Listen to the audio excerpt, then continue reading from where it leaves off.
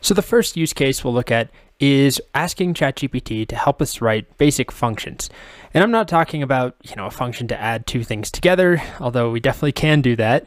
Um, but I'll try and show a, a realistic example. We'll start with a very trivial example, maybe multiplying two numbers together, which is technically not adding them together, but then I'll show something uh, that I actually have used personally. I'm going to try and keep some of this grounded in the real world. It's so much easier as a teacher to just say, write a function that adds two numbers and call it a day. But I do want to show some things that prove that it can be useful in the real world. So I'm drawing from my own personal experience using ChatGPT over the last few months. Okay. So just like with any prompt, we need to give it a little bit of context. Um, we don't really need to say like, you are an expert developer. It's pretty good at writing code.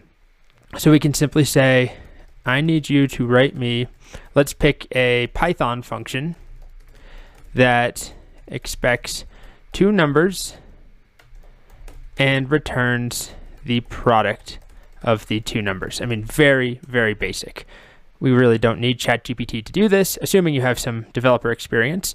Now, this is regular old ChatGPT, not the interpreter. It's giving me the code and showing me how to use it, but then I still, of course, have to run this myself and test it out. And with anything ChatGPT gives us, we definitely want to try it just before incorporating it into any code base. That's a no-brainer, just like you would try any function you find on Stack Overflow. And it does work pretty well in uh, all, most situations, including really basic functions that, you know, it, it, certainly has come across this exact function in its training data set, but also in novel functions that it maybe has not come across.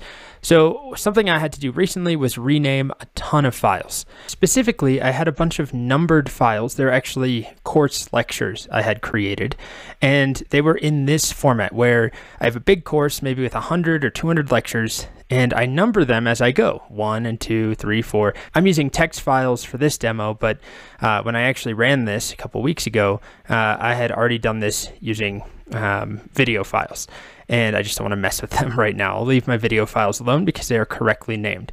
Anyway, what I did, kind of a naive thing for how long I've been making these courses, I normally label my course videos like this. In section one, I'll have 011 dot, you know, MP4. And then I'll have 012. And those will all be in section one. And then in section two, I have 02, 01 dot MP4, for example.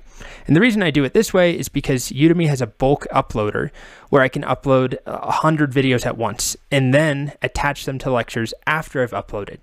The problem is, if I name my videos like this, one, two, three, four, five, and then I have in a separate section, one, two, three, four, five, and another section, one, two, three, four, five.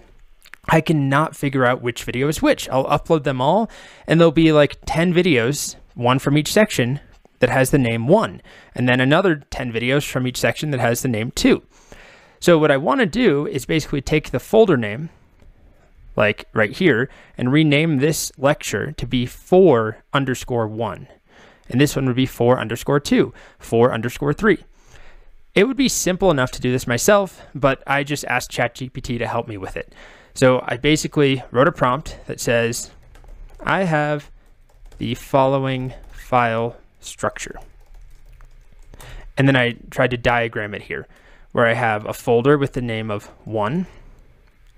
And then inside that folder, I have 1.txt, 2.txt, 3.txt. And then I have a folder called 2. And inside of that, I have 1.txt. And I'll just leave it off at 2.txt. And then below that, write me a Python script that I can run to rename all the files in a directory to be prefixed with the number of the directory, maybe the parent directory.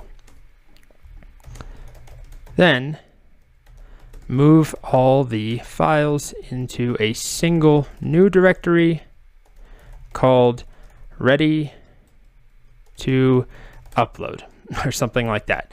So I wanted to take this structure and uh, write code that can loop over all of the directories, which I might need to coach it with because it might just assume I only want these two directories. Take the name of each directory and prefix each lecture, each file with that number. So 2 underscore 1, 2 underscore 2. So I might even show it the format. The lectures or the files should have names like 1 underscore 1.txt and 1 underscore 2.txt. So I'll show an example of the, the end format I want. Let's see what it does. It might need more information. Okay, so it starts by making my directory called ready to upload if it doesn't yet exist. List all the directories in the current working directory. If it is a directory, list all the files. And then perfect, this is exactly what we want. This line right here, if you're not familiar with Python, this is an F string. It interpolates the name of the directory underscore the name of the file, and then it moves them all into this directory. Now let's see.